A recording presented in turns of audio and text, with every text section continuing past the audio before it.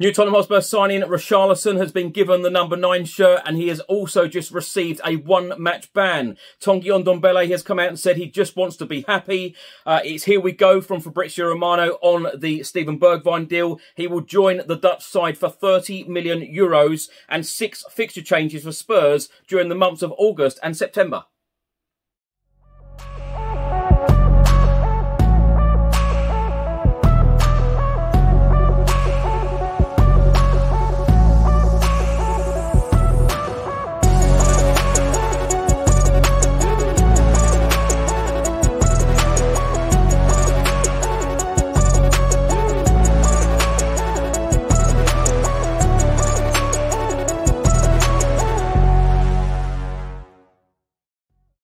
Welcome back to the channel. Hope you're all keeping well. This is another edition of Tottenham News where I'll be going through all of the latest Spurs news, rumours and reports. If you're watching this on YouTube, please do hit that subscribe button and also like and share. If you're listening to this on an audio platform, do hit that follow button and leave a review if you can. And please do check out the channel sponsors, One Football, Zoot Converters, William Hill and Live Football on TV. An update has just been released by Italian journalist and transfer expert Fabrizio Romano on the Steven Bergwijn situation. He has stated that Steven Bergwijn will undergo medical tests on Wednesday and then sign as new Ajax player. 30 million euro fee set to be received by Tottenham Hotspur, always been the price tag required by sporting director Fabio Paratici. Uh, official statement this week, huge one for Ajax. Here we go. Now, it looks like Tottenham Hotspur will be signing Clement Lenglet from Barcelona on a season-long loan. Uh, deal to be confirmed by the club. Um, now, Fabrizio Romano has been talking to Give Me Sport about Tottenham Hotspur signing yet another centre-back. He said, I think it depends on opportunities for Spurs. Clement Lenglet is a loan deal, so it's a smart deal for Tottenham because they're not spending crazy money on the centre-back, on a player who has good experience. Antonio Conte wanted him, so it's a smart deal for Tottenham. Tottenham Hotspur midfielder Tanguy Ndombele reported back to training at Hotspur Way uh, yesterday morning and he has been talking about whether he will be wearing a Tottenham Hotspur shirt again in the future under Antonio Conte. He said, I think it's possible to be happy at Tottenham. Regardless of where you go, you can be happy or unhappy. We will see how things go during pre-season. I'm not putting any more pressure on myself than that. He then went on to say it is rather complicated and personal at the same time, but what I want is to be happy, take pleasure in what I do, play, win, and that is all I want. Now, an official statement was released earlier by the Football Association and Tottenham Hotspur Football Club. It reads as follows. The Football Association have issued the following statement regarding Richarlison. An independent regularity commission has suspended Richarlison for one match and fined him £25,000 following a breach of FA Rule E3 that took place during a Premier League game on Sunday, the 1st of May 2022.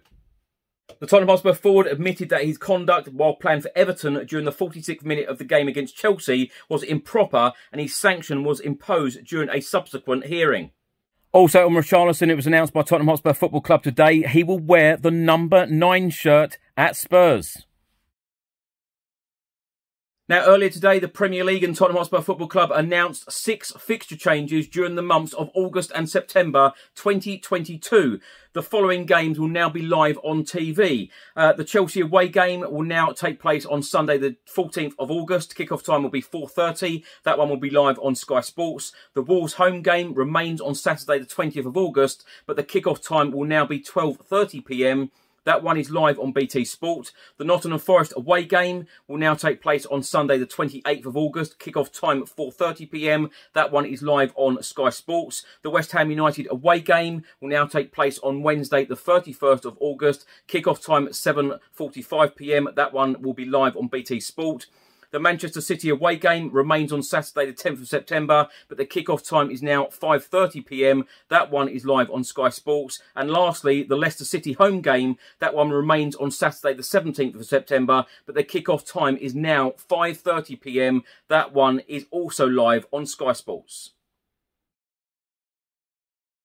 Now, my thoughts on all of these stories in this episode. Um, let's start with Richarlison being given a one-match ban. What a big shame. The reception that that guy would have got, um, either starting the game or coming off the bench at the Tottenham Hotspur Stadium on the opening weekend would have been absolutely awesome. So we will just have to wait to see him in a Tottenham Hotspur shirt for the first time in the Premier League, Chelsea away. That one will be an interesting one. But, um, you know, also seeing Richarlison being given the number nine shirt, absolutely love it. Wish him all of the very best in his Tottenham Hotspur career. Cannot wait to see him play. Tanguy Ndombele coming out and saying that he just wants to be happy.